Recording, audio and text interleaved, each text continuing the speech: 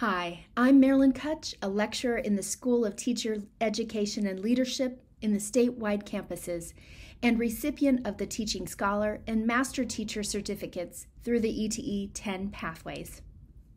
I hope you choose to participate in the ETE 10 Pathways program, as this self directed program provides you the opportunity to earn badges and certificates as you are working to improve your teaching. I'm going to introduce you to the Foundations track, which is ideal for new faculty who've never received formal instructional education.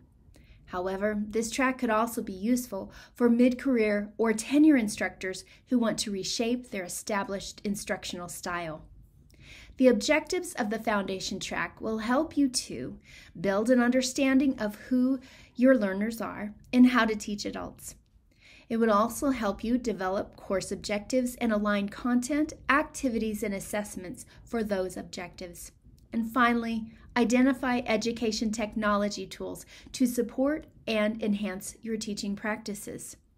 The required events in the Foundations track are Plan Teaching Excellence Pathway, a learning circle, such as the Foundations of College Teaching, the ETE Conference, eLearnX, and Writing a Teaching Philosophy.